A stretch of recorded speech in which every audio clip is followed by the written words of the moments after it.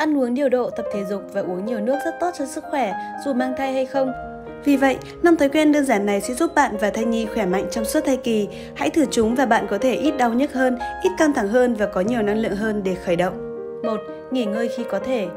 Mang thai là một công việc khó khăn, bạn đang xây dựng một hệ thống hỗ trợ sự sống cho em bé của mình và khi em bé lớn lên đang đặt ra rất nhiều yêu cầu đối với cơ thể của bạn. Và sự thiếu hụt năng lượng do hormone gây ra không có gì là lạ khi bạn cảm thấy sa sút nghiêm trọng.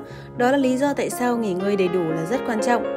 Thời gian nghỉ ngơi không chỉ giúp bạn hạn chế cảm giác buồn nôn khi mang thai mà còn giảm đau lưng khi thai nhi lớn lên, giảm huyết áp, giảm đau đầu và giúp bạn ngủ ngon hơn vào ban đêm.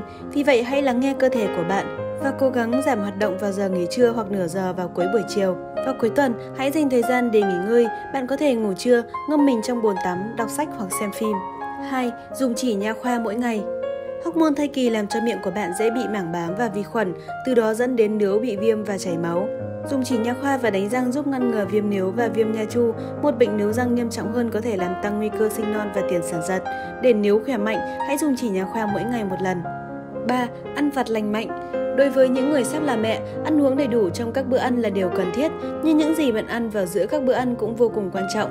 Hãy tập thói quen cất giữ đồ ăn nhẹ bổ dưỡng ở mọi nơi, tất nhiên là trong tủ đựng thức ăn và tủ lạnh, nhưng cũng có thể trong xe hơi nơi làm việc và trong ví của bạn.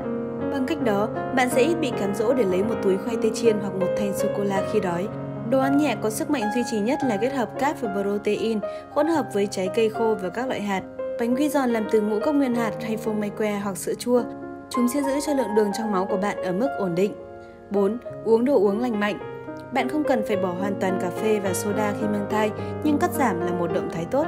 Đây là lý do tại sao caffeine và đường có thể hoạt động như thuốc lợi tiểu, loại bỏ các chất dinh dưỡng quan trọng như canxi trước khi cơ thể của bạn có cơ hội hấp thụ chúng.